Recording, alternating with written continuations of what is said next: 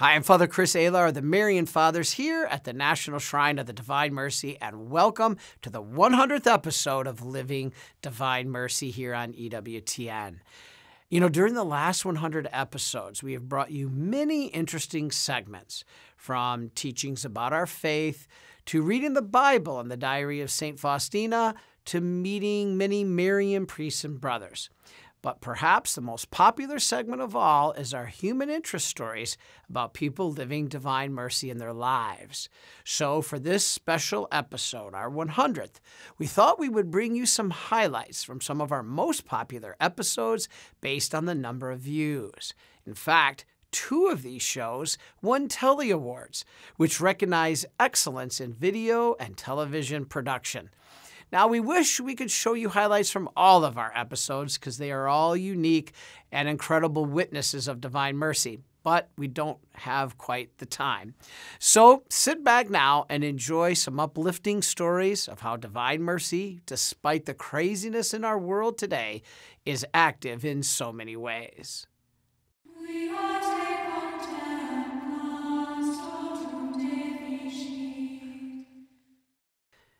Here on Living Divine Mercy, we have had stories of healing, both physical and spiritual. First is a Telly Award winning story about four kids in one class in Pewamo, Michigan, called the Miracle Kids, who all had rare terminal diseases. But the entire town came together and prayed for them. And wait till you see what happened. Next, we have a story about the famous singer of the Divine Mercy Chaplet that you'll recognize right here on EWTN, who, however, many of you may not know, came very close to dying from kidney failure. What happened next was incredible. And finally, we have the spiritual healing of Zachary King, who was a Satanist and high wizard whose life was changed by one encounter with the Blessed Virgin Mary. So let's take a look at these first three shows.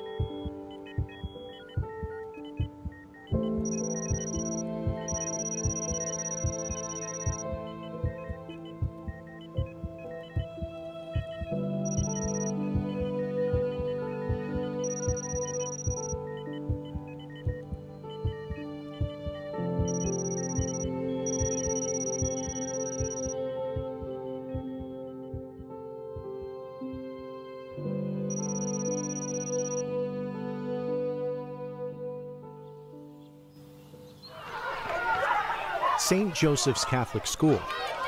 And here are the Miracle Kids today. Ready to laugh, learn, and look ahead. You might ask yourself, what are the odds of that happening? They're only God's odds. They're nobody else's odds. It's just such a beautiful thing.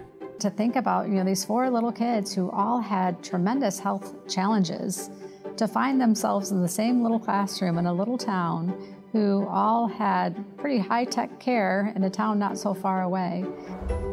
I mean, we call these kids the miracle kids, so which I think is perfect. The phrase, Jesus, I trust in you, is more present now in my life for sure than what it was even before.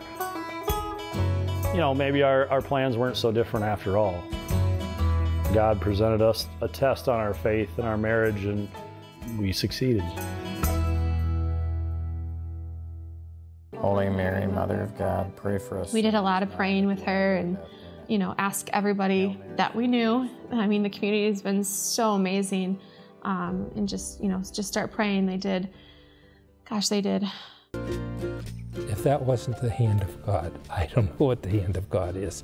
If that wasn't a miracle, I don't know what a miracle is.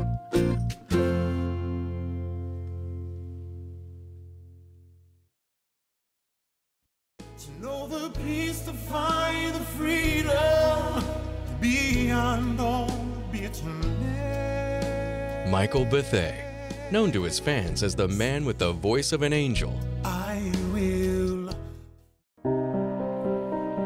But at the age of 49, Michael was diagnosed with a rare, near fatal kidney disease. After seven years on dialysis, he was told he would need a kidney transplant to survive. But his deep faith played a huge role in helping him to stay positive. When I first found out that I had kidney disease and I was going to go on dialysis, that's when my faith kicked in even more because I knew that God had me. I, and, and I knew that I would get a kidney transplant. I didn't know when, but I knew it. My cup has always been full and running over, uh, and, it's, and it's because of my faith. Despite Michael's positive attitude, his condition worsened.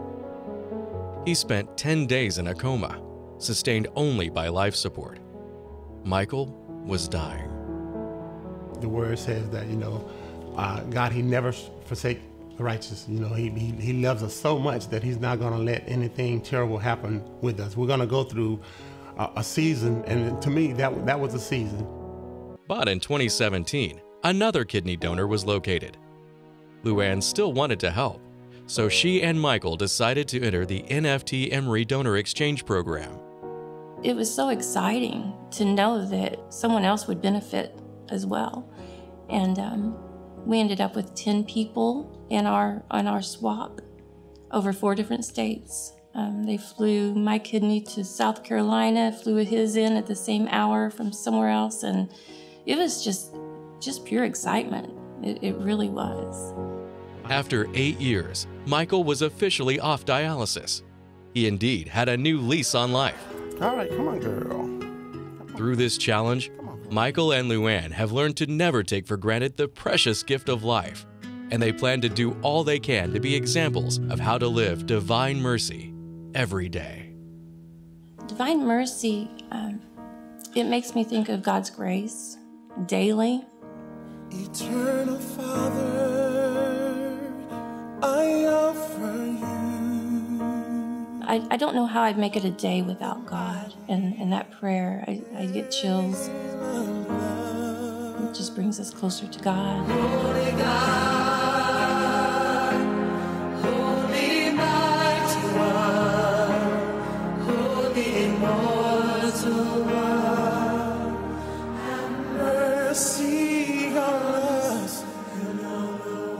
It's about His grace for me. And by Jesus going to the cross and He shedded His blood, you know, for the sake of His sorrowful passion, you know, we're asking God to have mercy on, on us.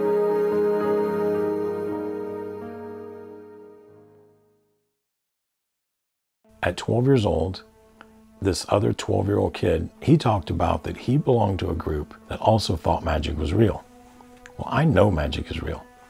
So I decide that I'm going to join this group. At least I'm going to go and check them out and see what they do. Whereas my parents tell me no to everything I want to do, this place, nothing is off limits. And I'm also I'm on all these drugs. I don't know where to get those. I get them there.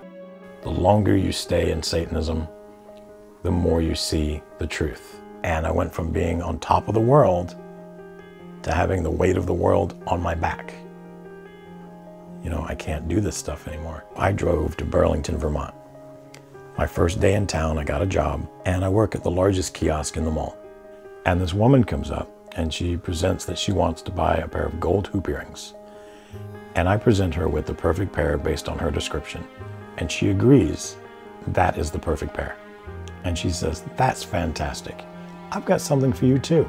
And she reaches in her purse. And she pulls out this little cheap gold colored piece of tin. And then she says, The weirdest thing I'd ever heard. She said, The Blessed Mother is calling you into her army.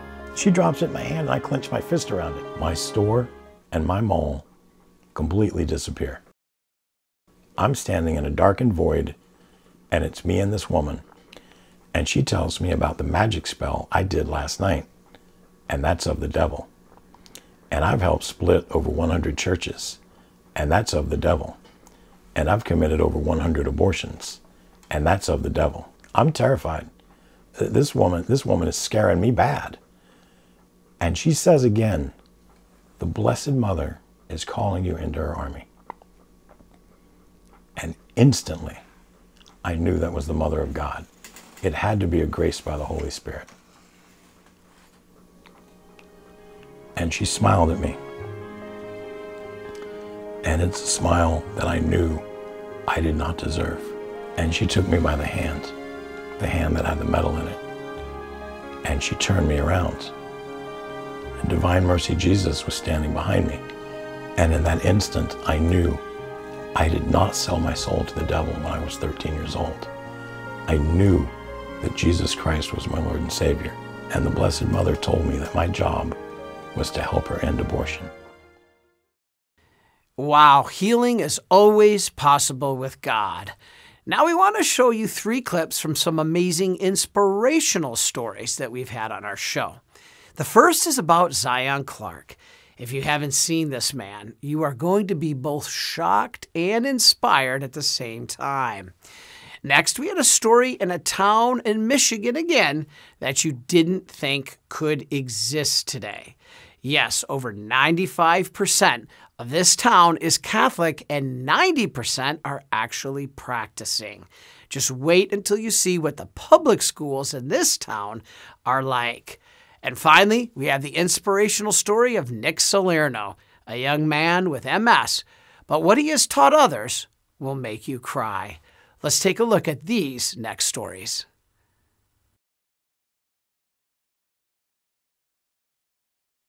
My journey kind of starts just back in Ohio. You know, I was born in the foster care system where I experienced a lot of abuse and pain over the first 17 years of my life, not knowing who my mother is, not knowing my father, just kind of being alone, uh, going through these families that just didn't treat me very well at all. So I turned to the streets and, you know, made found friends, you know, uh, ended up running around, getting in trouble and uh, just kind of started going down this downward spiral. My mom stepped up, took me in, and just completely turned my life around. You know, she's a very religious woman. She's uh, she is definitely a huge believer in Christ, and she would always pray with me. She would always speak life into me and always drop a whole bunch of knowledge bombs, wisdom bombs. I'm the fastest man on their hands in the world, but at the same time, it also means that my family's winning, my town's winning, and my support group's winning because without them, I wouldn't be here doing this for you guys. I know people that have disabilities, that have disabilities the same as mine, that have disabilities that are more severe than mine, and I see them becoming high-level athletes every day.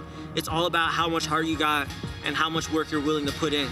I, will tell that to any kid with disabilities. I'll tell that to a kid that doesn't have a disability. My message stays the same. So, Zion, how do you feel the role of faith has played in your life? Especially, I read about your mom, a, a real lady of faith. Tell us about your journey walking the life in Christ. Uh, my mom always said, just trust the process, trust, trust God's plan.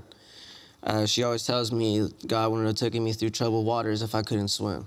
And that sticks, it sticks with me all the time. And that's why every time I have a big accomplishment, I have any sort of big success, I'm always thanking the big guy upstairs first because in my book, at the end of the day, when at, when we finally close our eyes for the last time, we're all going to go see him. We're all going to be judged by him. So with that, I try to live my life the best way, as good, as peaceful as I can, and to instill love and joy into the world because that's how I feel that he will want us to live our lives. This is Westphalia, Michigan. Farmland here is rich and fertile. And so is this unique community's faith, with so many beautiful young families attending Mass with their children. Two, two, two!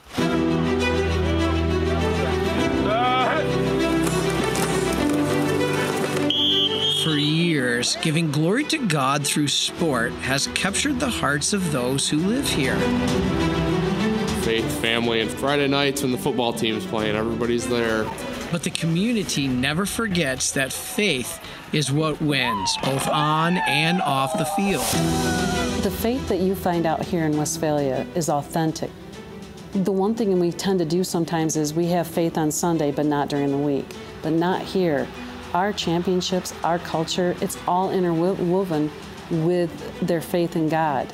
And these kids, they're the ones that are requesting it. No one mandates this. These kids have faith on their own. The faith is just as strong come game time. In fact, student led prayers of thanksgiving have a place in the locker room as well. In 2019, it wasn't just the state championship game that the girls' basketball team was thinking about. In fact, they were just as concerned about being able to schedule Mass to be celebrated after their victory. Um, we got talking with the parents and we're like, maybe we can ask Father Eric if he could do a special Mass for us.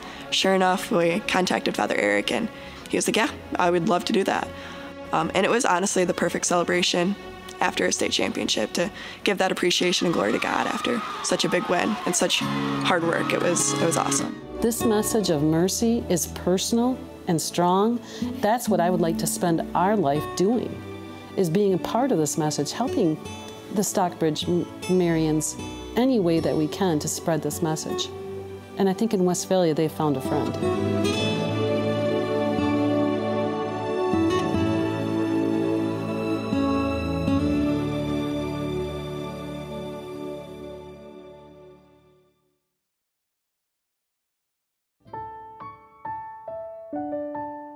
So, in the winter of 1996, Nicholas James Salerno was born in Kenosha, Wisconsin.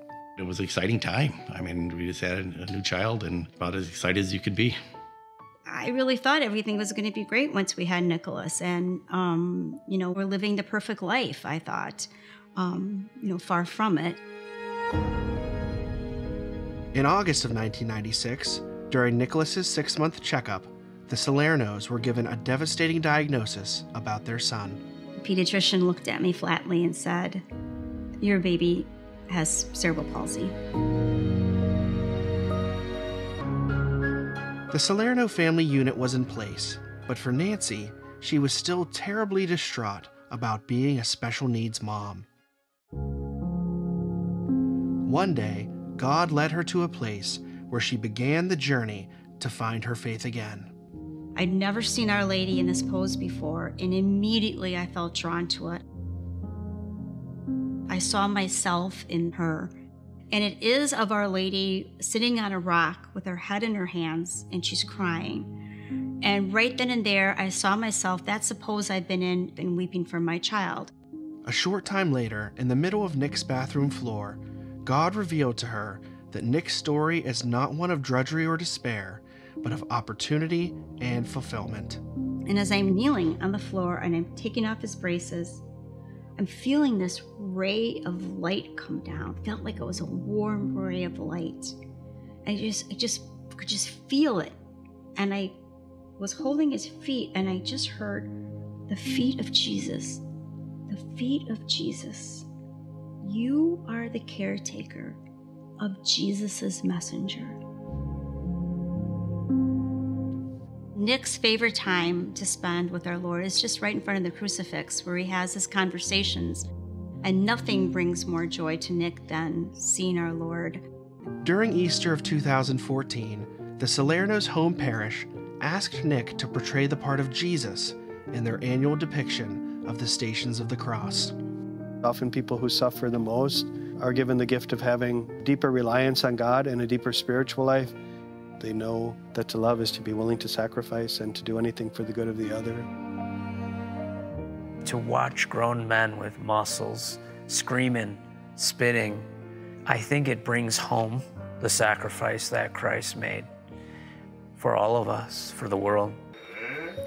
Good morning, sweetheart. Looks like you're pretty happy to get up today. Caring for Nick today is a challenge. The routine of critical daily care for the Salernos is anything but normal. Nick requires care incomprehensible to most parents, but Mark and Nancy wouldn't change a thing about caring for their son, who they love so much. I look at it as being a father. And so there isn't any other option. I'm going to do it. So no matter how tough times are, then that you know it still needs to be done. And I have a saying on board for Nick, it's like if you're not tired, I'm not tired. And he's the hardest working person I've ever met. Nick has refused to allow his disabilities to define him. he has proven his resilience and perseverance by excelling in a public grade school and college environment. His various awards line the walls in his home and show accomplishments including various 5K, 10K, and full triathlon events. It's been the greatest blessing of my life to be Nick's mom and the mother of his siblings. His birth has brought me closer to Jesus in so many ways and closer to the Blessed Mother. I look at Nicholas as a gift and it's a challenge, but I always thought that we were going to be teaching Nicholas, and Nick's been teaching us. That Zion Clark story was one of my personal favorites, and meeting him in California was a lesson for me in hope. Now, we can't forget about the stories of works of mercy, and we've certainly had those too. We have the story of a place in Buffalo, New York that covers many of the works of mercy in one place. And wait until you hear about one woman whose life was changed because of it. Then we have the touching story of Brother Andre's Cafe, where precious special needs employees will make your day when you come in for a cup of coffee. And finally, we show our friend Nermeen Rubin and what she is doing to end the water crisis in Africa when she was told it is impossible.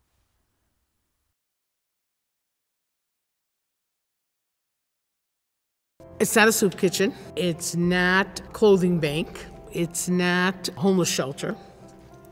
It's our job to do the works of mercy. What I believe God has us here is to draw souls to Him. We take care of those who really didn't know Jesus. On a daily basis, people come in and get clothing, get household goods, and every day, six days a week, we right now, we serve 600 people two meals. So we feed the hungry. We clothe the naked from, you know, babies to 99 years old. Every week, St. Luke provides over 8,000 meals to the hungry in the community and helps clothe over 100 families. It's all free and all possible because of the countless volunteers, as well as the St. Luke's missionaries. Each house have a missionary there is to help the mother show them how to be a mom to the kids and you know to go to work and go to school and we help teach them little things they need to know. Several years ago, Charlene herself was a mother in need of help. St. Luke's was there. I had three kids and I was struggling and then Amy found a house for me and we've just been there. I mean, what more could I ask for? This woman didn't know nothing about me. My baby in the wheelchair was only five years old when we met Amy, and, and I think I thank God every every single day for me this woman is to come to me, and she's she's like my mom. My mom is living, but Amy gave up her heart, and we got baptized here in '96. Me and my sister her four kids and my three kids. I mean, I was on fire. And ever since then, I love worshiping the Lord. I love the church. I take seriously what St. Faustina said. Jesus says, I want you to be merciful in everything, always, to everyone. So, why are we here? St. Luke's Mission of Mercy is the beacon of hope that lets all people know that God's mercy is for them.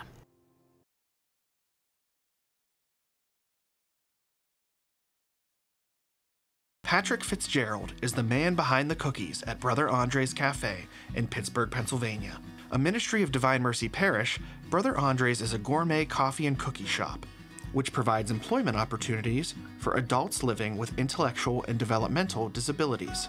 We've discovered probably when he was maybe 11 or 12 that he really liked to bake, and he really Bake. did a good job helping me in the kitchen. Kitchen. And then when he finished high school when he was 21, he went to a food service program at the community college, and he really enjoyed it and did well. After that, we really struggled finding work for him. The only jobs people were offering him were like in the dish room, you know, away from where other people were. Patrick uh, is a real social, sweet, pleasant, pleasant, right, person, and we just didn't feel that his true gifts would be shining if he was stuck forth. in a dish room. Yeah, shining Dish forth. room.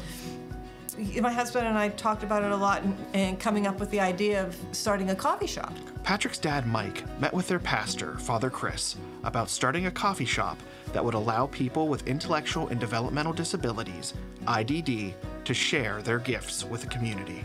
They teach me things all the time. Danny taught me how to make all the drinks in the beginning, so it's really fun. Every employee brings their unique gifts and talents to the cafe. Morgan has been at Brother Andre's since the very beginning. Morgan has such a good eye for artistic expression, I feel like. I put together the flower arrangements for the tables every week.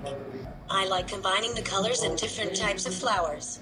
It lets me be creative and express myself in new ways.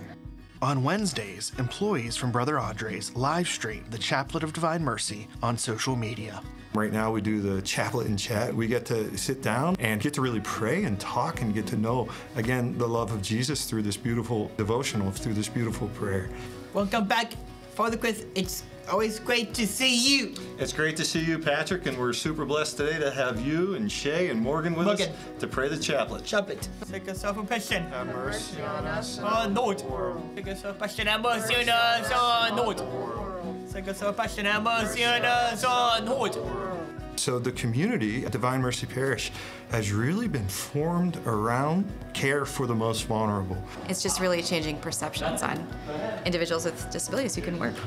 A lot of the special needs parents that I know are just so excited that something's finally happening for our kids.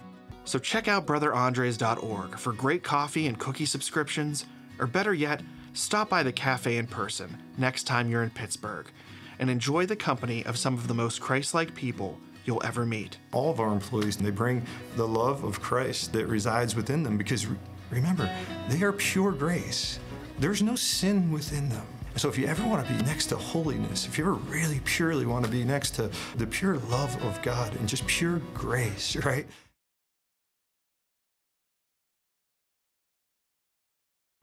There was no water around. I saw women walk for hours and hours and hours getting water, and the water was as black as my skirt, and they were drinking it without filtering it. I just saw a vicious cycle of poverty. With no water, how can they eat? There's no food. It hurt my heart so much. Then that is the reason why I decided to start Water for Mercy to provide a solution. Our whole mission is to provide water, food, and hope. The Water for Mercy team is Innovation Africa for water, Cultivate for food, and with Cultivate and Don Bosco, we are providing education. We are now changing these cycles of poverty into bountiful cycles of success.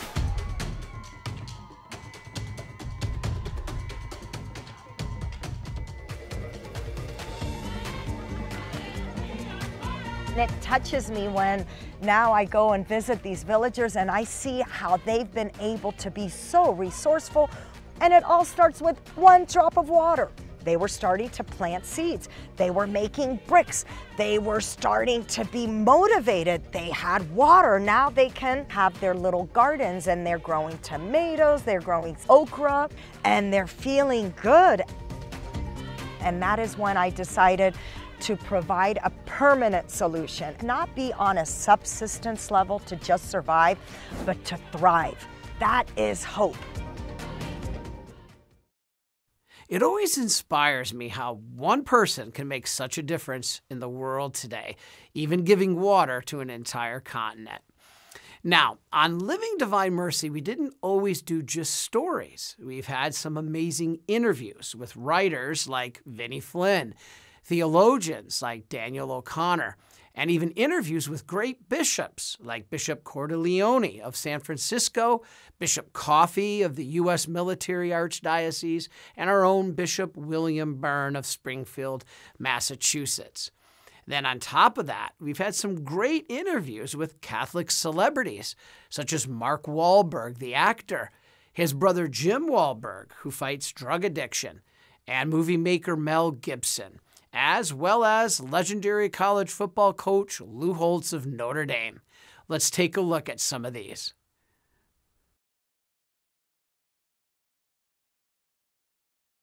You spend, I think one of the powerful things is you spend every morning, if you can't make daily mass, you're trying to get to at least 10, 15 minutes of personal prayer. Oh, yeah, yeah. That's, I, I do that regardless. That's the, the only way to start my day. I get Yeah. on my hands and my knees. First and foremost, expressing some gratitude, and then just praying for all the things that I need to pray for, and people that I pray for, and things of that nature. And then for the guidance to, you know, to go out and do Yeah. what, uh, what the what the big picture expectations are of me.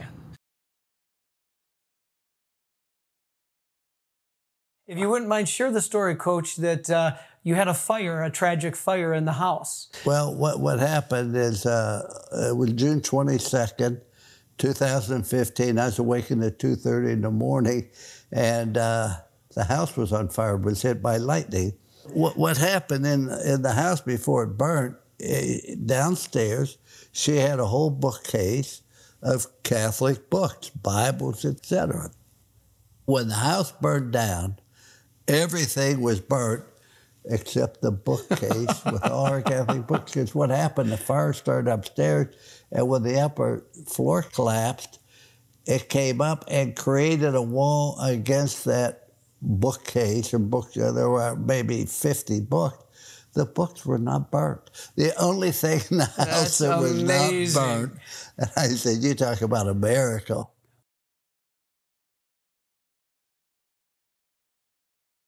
Mel, priests like myself are indebted to you uh, for the Passion of Christ. It was a great catechetical tool.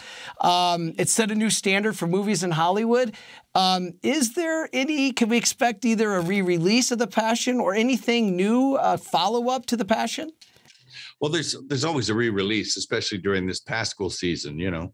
But but uh, um, yeah, I'm working on the on on a you know if you like a sequel on the resurrection. Yes. So it's uh, but that's a very oh if okay the Passion was big, but this is like ten times as big. Really? Well, the subject matter is Well, true. it's it's not about 12 hours that you know it's it's it's big. It's it's uh, Are you able to tell us when we might be able to see that or expect that? man, maybe a couple of years. Okay. It's it's huge. It's like uh, I can't even begin to tell you what has to go into that. I mean, you know, if you've you know you've you've had years to like contemplate some of the stuff Yeah. and to understand what needs to happen in a film to make it understandable and sort of not preach to the choir. Yeah. It's it's tricky, Yeah. but doable. I think. It's always great to see these well known Catholics living their faith publicly. Now, unfortunately, it is inevitable in life that we will sometimes face tragedies and misfortune. And when we do, many times it requires us to forgive someone. So we have those stories as well, such as the story of a young student at Franciscan University in Steubenville, Ohio, whose life was tragically cut short, and his mother faced the difficulty of how to forgive. Then we have the story of Sammy Wood and the loss of her daughter Claire to suicide, which, along with my own grandmother's suicide, inspired my book, After Suicide There is Hope for Them and You. And finally, we all heard about the tragedy of the shooting at Virginia Tech back in 2007. But the story of a mother of one of those heroes that day will show you the true meaning of forgiveness. Brian wanted to be a doctor. He wanted to be a pediatrician. He wanted to help children. He was really excited because he was going to be living off campus for the first time. I said, Well, that's good, honey. You know, I'll, I'll talk to you tomorrow. He said, Okay, Mom. I said, I love you, Bry. He said, I love you too, Mom. And none of us knew that he only had a few hours left to live. We decided to go back to the police station to see if anybody had heard anything. And in walked a brand new police officer. And he came over to us and kind of crouched down in front of me and he said, Mrs. Muha, we've been looking for you. We just got word. They found Brian. And I said, And he's alive.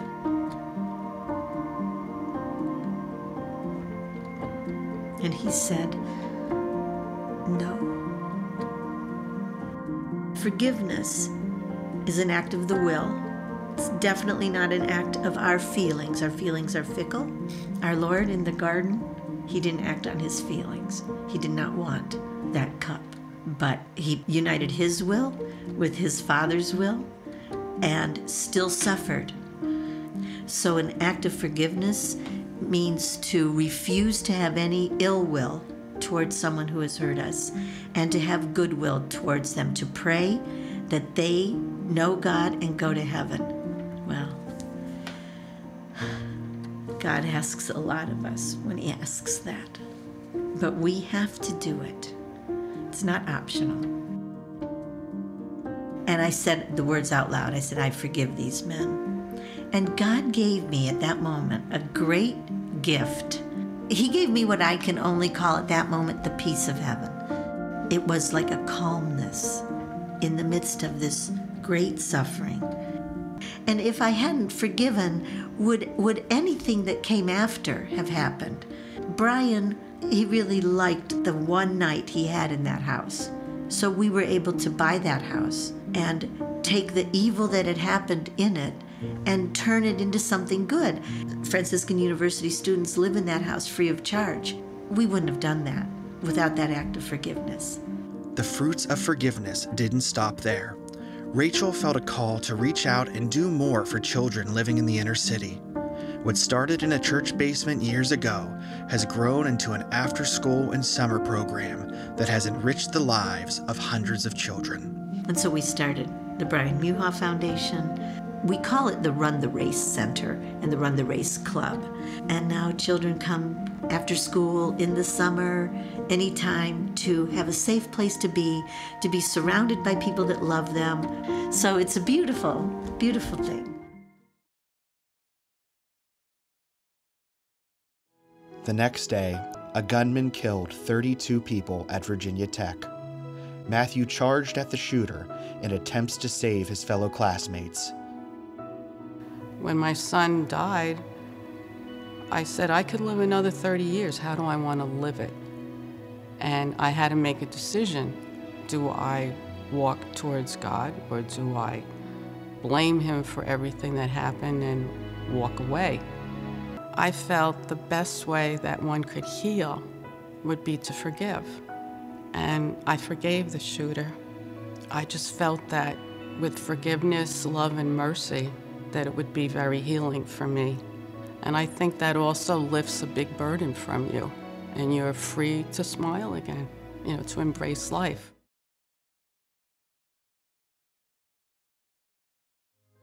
But behind her smile, Claire was living in a secret world that she thought she couldn't tell anyone about. Battling health issues and problems at school, the hidden anxieties she thought she couldn't share finally came together, both mentally and emotionally in a perfect storm.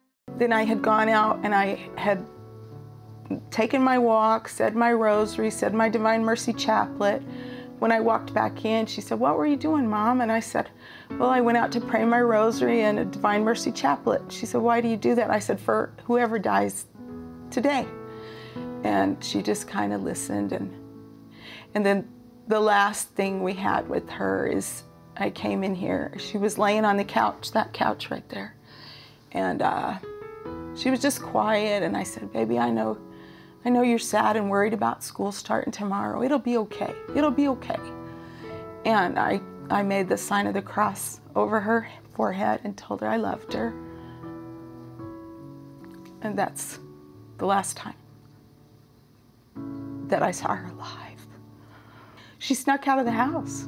She um, went up to the barn and she died by suicide up there. We didn't know. My dad came rushing in later because they had heard the sound from their house. He came in and said, Claire's dead. Claire's shot herself. Claire's dead. Ran up there and knelt by her. It was going to start raining. The clouds were building. It was a lot. Picked her up. Her daddy and I picked her I don't know how to pray at that moment. I don't know how to pray. But what I do know is that my only hope is to run to the Blessed Mother and to run to Jesus because it's too big. This this tragedy is too big to exist without God. How in the world could this be? How in the world could this be? As a family, we couldn't we couldn't stay together for how broken we were. We couldn't stay together if we didn't have God in the center of it, clinging to Him and clinging to the things that the Blessed Mother taught us at the cross. You just beg Mary to give you her faith and her trust and her hope because she had that. She had all those beautiful things that you have to have. Now you have to have. My tears don't mean we don't think we have hope. All our hope and trust is in God. But it brings tears because we miss her and we love her. And we will always miss and love her. Always.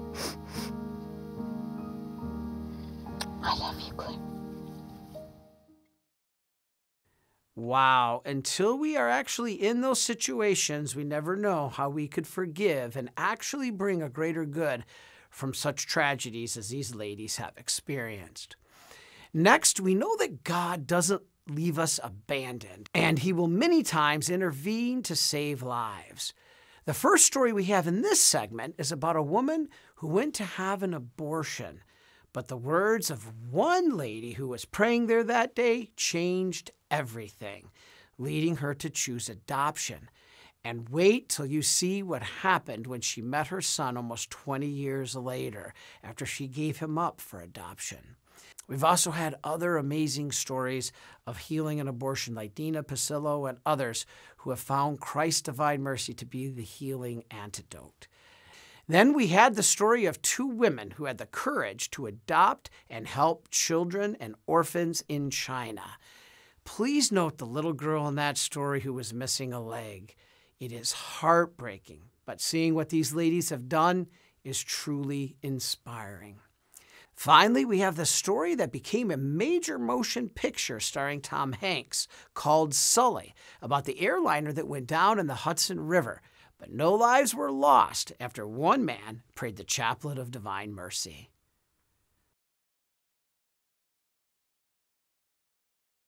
I basically moved in together with my high school sweetheart and we got pregnant and it was not planned.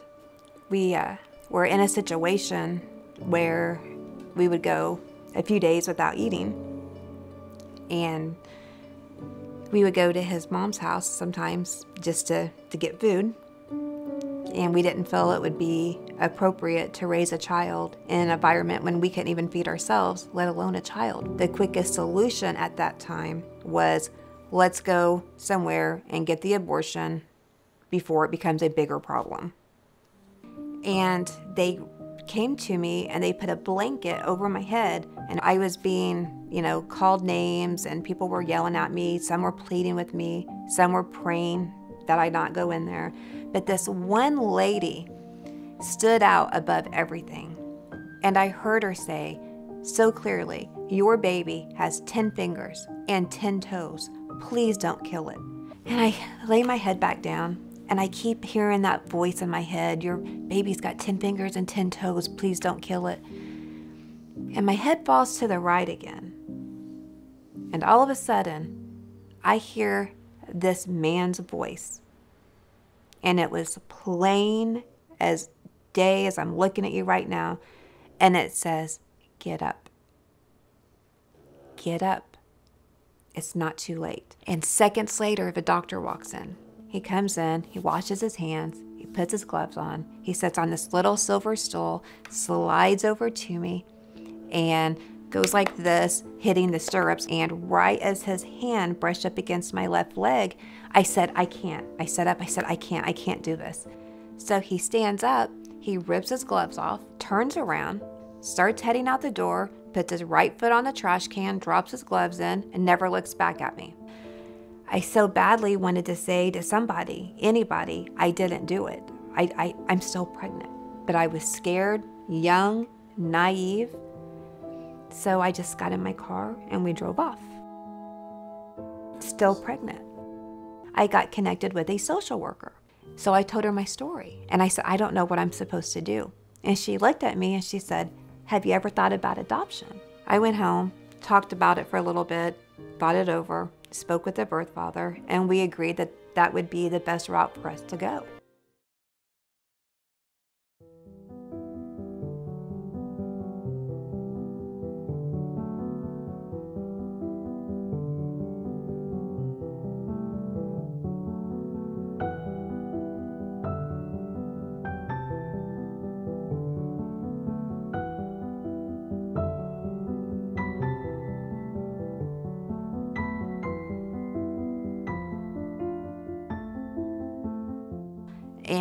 I talked to my husband and I said, okay, he's well willing to meet, but he wants to bring a film crew to do this. And I said, I don't want to do that. And he goes, but babe, what if it saves even one person? Is it not worth it? God has got big plans for you. When the van pulls up, like I'm literally pacing my living room floor back and forth. Like I'm so anxious. I've waited 19 years at this point, and I am going to hug my birth son since the first day he was born. I am going to see what he looks like. I run out, and as he's walking up, I'm like darting out my front door, and I just latch onto him, and I didn't want to let go.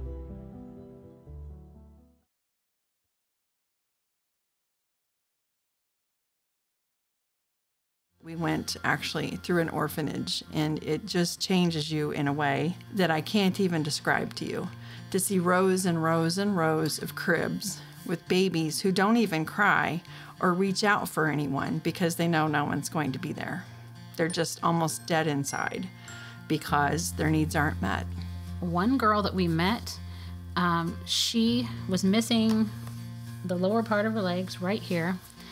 And so I assumed she was born like that. What had happened that the orphanage had become so cold that they didn't have, and they didn't have the money for the um, coal that was needed to heat the orphanage. And so this girl got such bad frostbite that they had to amputate. And it was just so incredibly sad. And she said it would have cost $400 to heat the orphanage that month. Only $400. So I just looked at her and I said, This will never happen again. Anne and Michelle took their commitment even deeper, adopting the unadoptable, bringing into their own homes children born with special needs or with addiction issues from substance abusing parents. Anne admits that at first she and her husband were worried. Michelle has nine children, four of them adopted from China, and of those, three have special needs. Anne has two biological children and has adopted 14 children, with all of the adopted ones having special needs.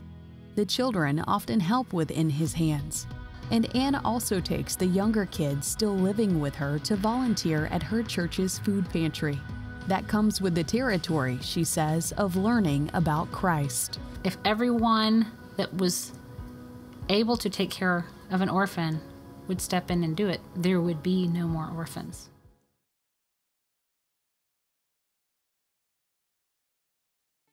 Uh, this is uh, Cactus 1539. Hit birds through phosphorus and voltage.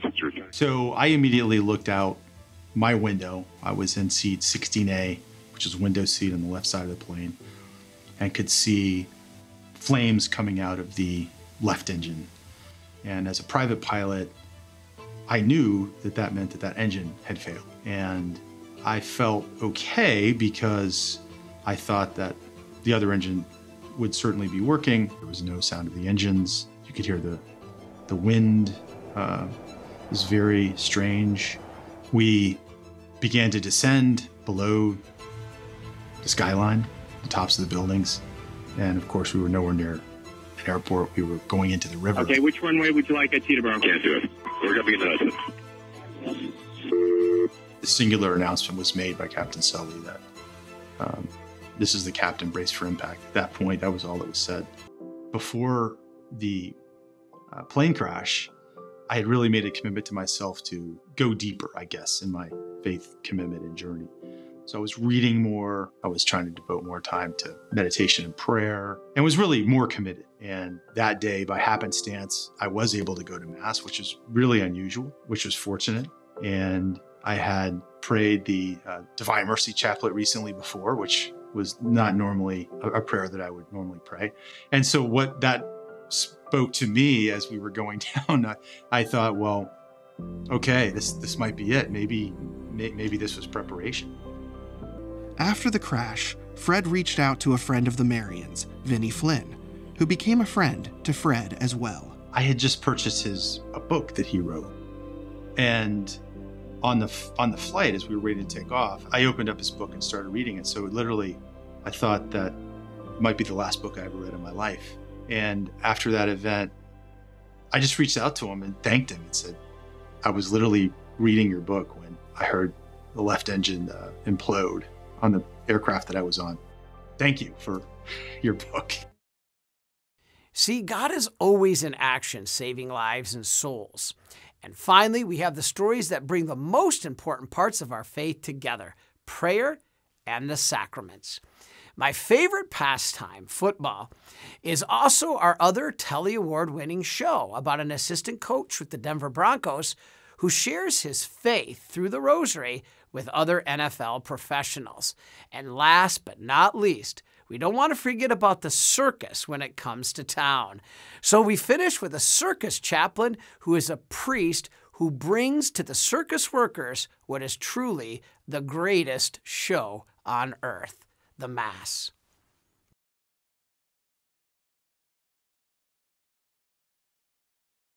All right,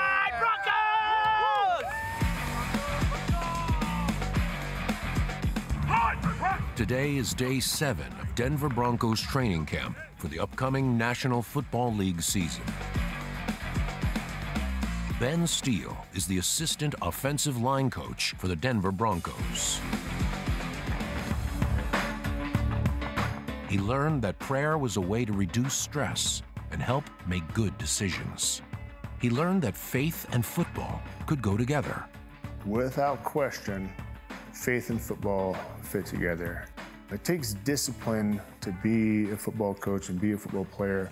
It takes even more discipline to be consistent in your faith as a Catholic day in and day out. You either get better or you get worse, and it's no different in our faith. And I'm always growing as a Catholic, and I'm never going to stop growing. Ben wanted to follow in the footsteps of those who inspired him. So he and his daughter Cora teamed up to make their own rosaries. You know, they say that the rosary is linked from uh, earth to heaven. And if I'm giving these out to our offensive linemen, we have offensive linemen that are 340 pounds. These got to be strong.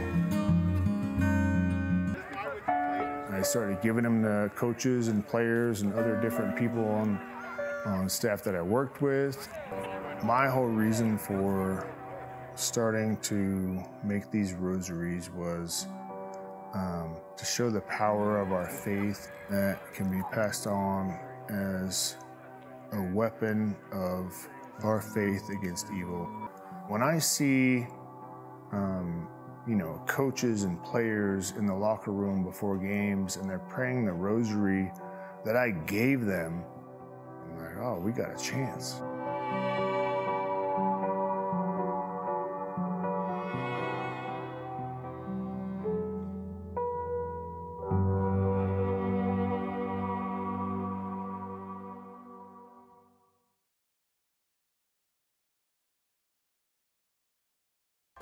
He's the national circus priest, and his flock, ever on the move, stretches from coast to coast.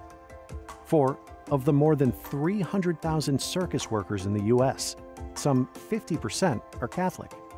And this ministry is an answer to a cryptic remark Father Frank once heard from a circus going spectator after he had introduced himself to her.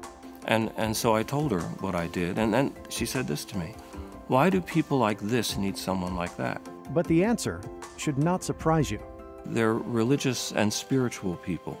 They're grounded in this notion of something bigger than themselves, which always gives us something to be able to kind of uh, uh, work off of. Father Frank joined a circus ministry that has existed in the Catholic Church for 125 years and has numbered among its most avid supporters both Pope Benedict and Pope John Paul. It's something that always amazes me that Uh, we are so appreciated on, on the shows, and when they know we're coming, it's, it's people are excited. It's an important keystone to, to performers' lives.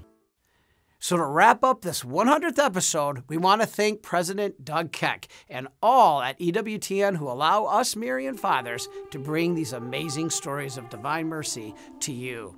In addition, I want to thank our incredible staff, led by producer Mary Clark, our own lovable cameraman Giuseppe, Brother Mark Fanders for his extraordinary technical talent, Hope Hansen, who helps coordinate the stories, and our other technicians such as Dale Zaviter, Matt O'Neill, Gus Rodriguez, George Foster, and all of our production teams here at the Marian Fathers and at EWTN.